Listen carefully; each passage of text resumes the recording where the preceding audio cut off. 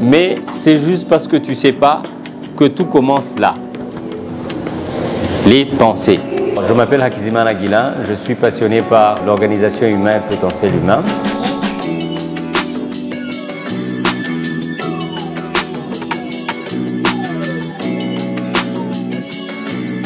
Je suis ce qu'on appelle CFC, euh, ça veut dire conférencier formateur euh, coach, et je suis certifié par la Maxwell Team et je suis passionné de développement personnel. Et ça fait pratiquement, je pense, six ans que je suis dans le domaine et c'est un plaisir que je me fais tous les jours d'aider les individus à se découvrir. À chaque fois qu'on connaît au début de l'année, on veut changer notre manière d'être, euh, tout ça. Euh, ah, on se bat avec. Et là, on se bat là. Ah, je vais changer ça. Ah, je veux faire ce régime. Tu te bats. Mais c'est juste parce que tu sais pas que tout commence là. Les pensées. Le choix de tes pensées.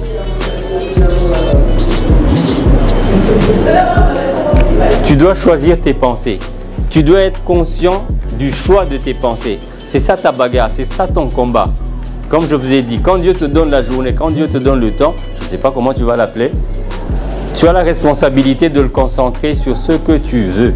Parce que ce que tu veux, c'est ce que tu dois attirer à toi pour que ça se réalise.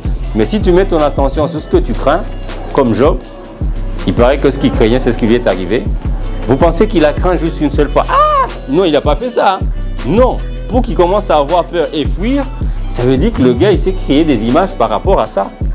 Le rouge-noir, ah le rouge-noir, il te tue quand tu le regardes. Donc, il se l'est passé souvent que c'est devenu dans le subconscient un truc à fuir.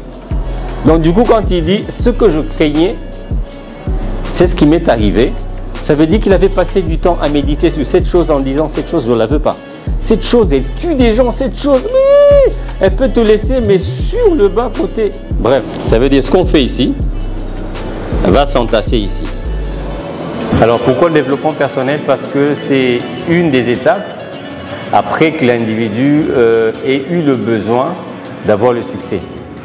Parce qu'on commence déjà par définir exactement ce qu'on veut. Donc on veut avoir un succès, du coup, on se demande maintenant comment y arriver. Parmi les réponses de comment y arriver, il y a euh, avoir des modèles, il y a avoir des gens qui peuvent t'aider et t'écouter pour euh, parler de ce que toi tu veux atteindre, des réalisations, des difficultés.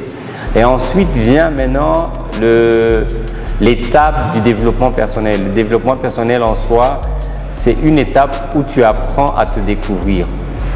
Ça veut dire, je vais, placer en trois.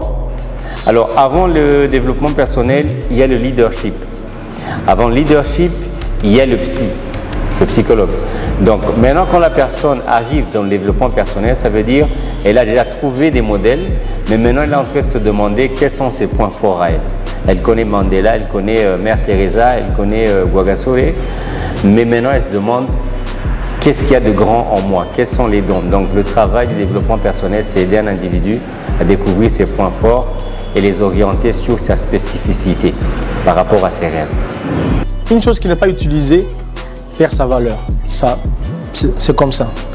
Si tu prends beaucoup de bananes et que tu mets ça quelque part, que tu ne manges pas ça, si tu prends ton, ton bras ou ton doigt, hein, tu le mets quelque part, tu ne l'utilises pas, tu, le, tu l'enfermes, après un certain temps, ça peut fonctionner. Ok? Chaque chose que tu n'utilises pas, tu le perds. What you don't use, you, you lose. D'accord? L'information que je viens de recevoir primordiale euh, au cours de cette session de coaching et de développement personnel, c'est de connaître avant tout ses qualités, de connaître euh, ses points forts et comme ça de les développer pour la réussite dans tous ces projets, dans, tout ce que nous devons entreprendre dans la vie. Ce qui m'a poussé à venir euh, dans cet événement, d'abord, c'est parce que je suis vraiment passionné par la connaissance humaine, par le potentiel que chacun, chaque humain possède en soi. Et l'événement, je le suis euh, au travers des médias sociaux et aussi à travers les amis. Il y a des choses qu'on découvre seulement quand il y a quelqu'un qui nous dit qu'il y, a quelque chose qui se trouve à nous. Bref, aujourd'hui c'était juste des tasers, donc c'était pas vraiment euh, espérer qu'il va se passer un grand euh, boom, mais c'est juste créer, susciter juste euh, des questionnements, susciter des questionnements en eux de tiens, finalement, est-ce que je peux être euh, libre de choisir les pensées que je veux? Je peux me concentrer sur mon conscient et mon subconscient l'amener à changer. Voilà, c'était les amener à réaliser qu'ils pouvaient être maîtres d'eux avec des informations pour que la prochaine fois ils reviennent pour être formés. Euh, mon dernier message au public, ce serait qu'ils devraient vraiment répondre massivement aux prochaines demandes ou appels euh, à la formation ou euh, aux conférences comme ceci.